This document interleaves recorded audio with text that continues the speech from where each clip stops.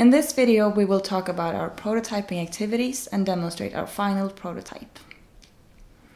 Due to the corona situation, we had limited access to the school lab, which made it difficult for us to create the prototypes the way we intended to do. So we bought a 3D printer to help us in creating prototypes.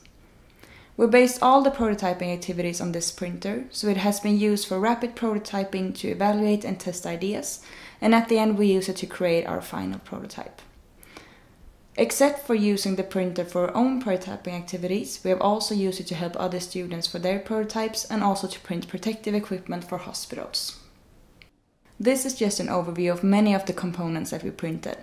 We didn't have any access to the real aluminum profile that is used in the revolving doors, and since our product was designed to fit the current interface of the doors, we designed and printed a profile with the same dimensions and interface that is used in the doors today.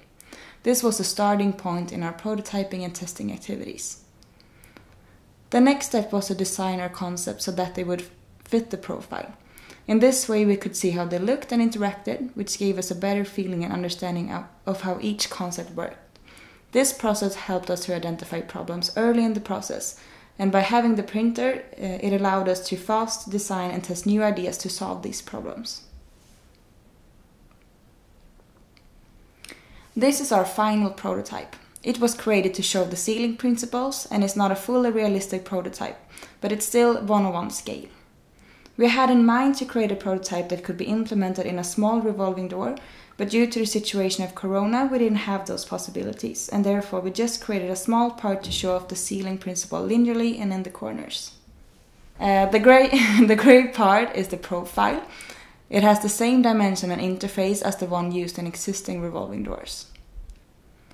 The white part is the housing for the moving parts for which the yellow flaps are attached to. The flaps are the solid barrier that will block the gaps and prevent air leakage. They are made of a flexible material that adapts easily to small variations. The blue part represents how the sealing would look like in the corners. We had problems printing the part in the same materials as the flaps due to limited capabilities with our printer, so for this we have just used paper to show the sealing principles in the corners.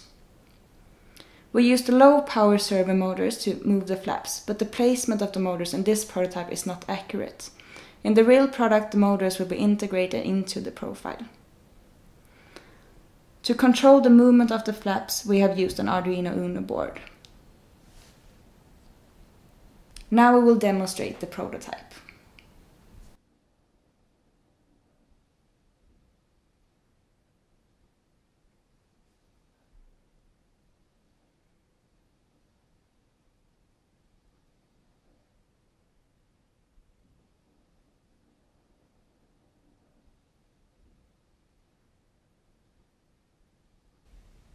Now you're going to watch an animation of the final concept.